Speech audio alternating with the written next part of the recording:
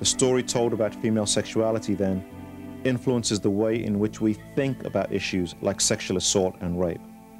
They influence our attitudes. What then are some of these attitudes?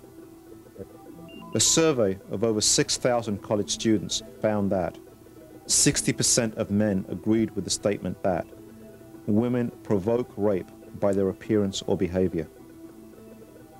To demonstrate how powerful the stories of commercial culture are, nearly 40% of women agreed with that statement also. Almost a third of the men agreed with the statement, it would do some women some good to get raped. Many men believed that forcing sex on a woman while on a date was justifiable if the woman invites the man out on a date, if a man pays for a date, or if she dresses suggestively. These attitudes that normalize sexual assault are being discovered in younger and younger populations in the society.